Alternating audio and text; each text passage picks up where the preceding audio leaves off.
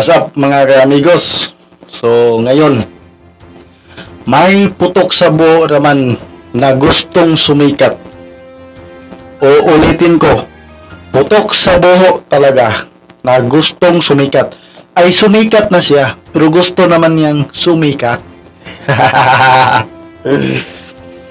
Kung natatandaan nyo pa mga amigos, yung isang TGP na nanugod, nalasing, sinugod ang isang EKP sa kanilang bahay at nagpakilalang founder.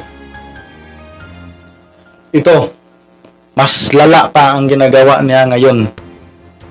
Sinunog niya ang type ng EKP. Ito.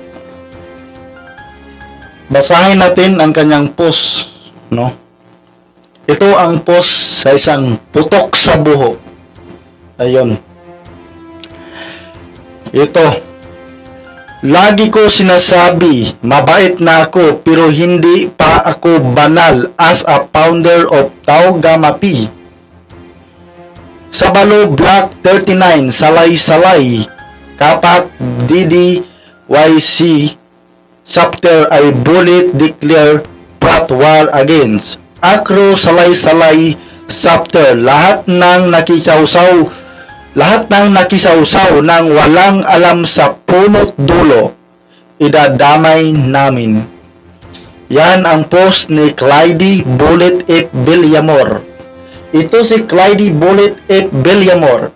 Siya ang nanunog ng tarp o siya yung lasing na natatandaan no, nyo nung isang araw ay sumikat trending ito sa social media kung saan man ang sulok ng social media ay ito ay makikita nyo na isang bulok bulok na bulok talaga bulok na kamatis isang putok sa buho.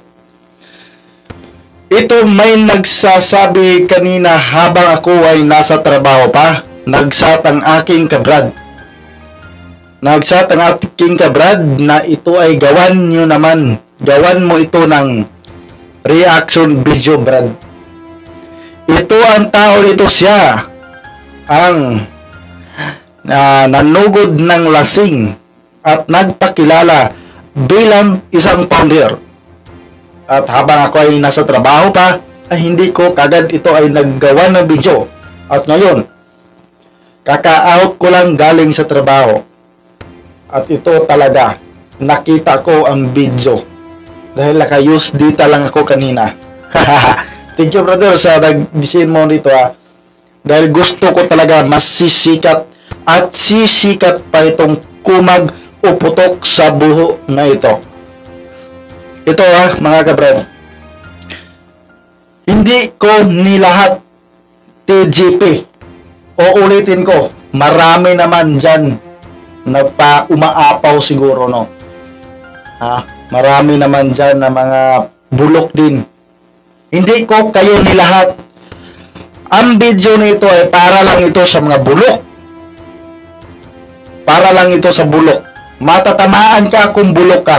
Hindi ka matatamaan kung hindi ka bulok na putik na walang bango. Bungot talaga kayo sa ukok. Mga walang hiya talaga kayo. Tinatawag na ito sa barangay sa council nila pero ayaw nagmatigas. The founder eh nagmatigas. Yan ba ang gawain ng founder? Dapat ba sa iyo tawagin isang founder na is, kabilang ka sa isa ka plat? Sa inaasal mo ka Brad. Brad. O putok sa buho ka. Hindi ka dapat tawagin ko nga Brad, putok sa buho ka talaga. Ang tawag, tawag talaga sa iyo, putok sa buho, putang ina talaga. Kaya, ano eh, ito ha, nakikita nyo naman, ito, panoorin nyo muna ang, ang video, mga kamigos. Ito ang video niya. Sinunod, sinunog ang tat ng AKP. Ayun. Kaya meron may titira kami dito. Binaya nila ako eh.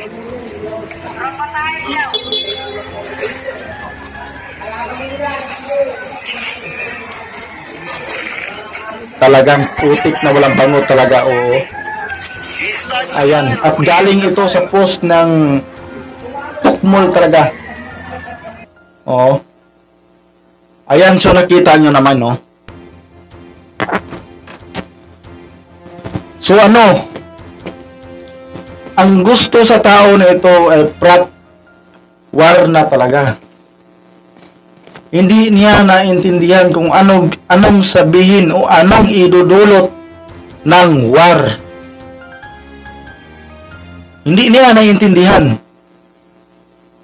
kung ano talaga ang maidudulot sa lahat ng mga ah, kaprat ah, sorry na nagtrabaho ng maayos para sa pamilya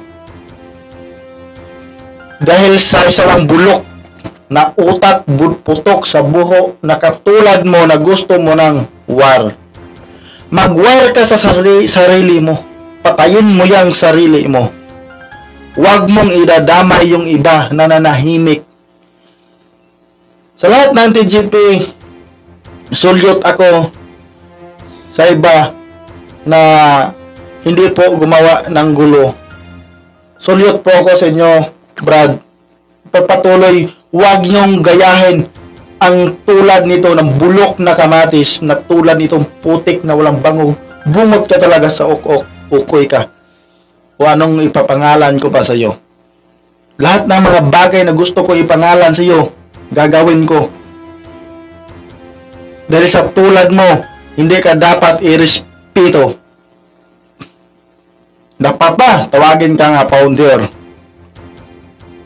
Ganyan ka. Ganyan ang asal mo. At nagtaka din ako kung saan man itong nasa sakop na council ay isang uplok nito bakit hindi ito na disiplina nyo?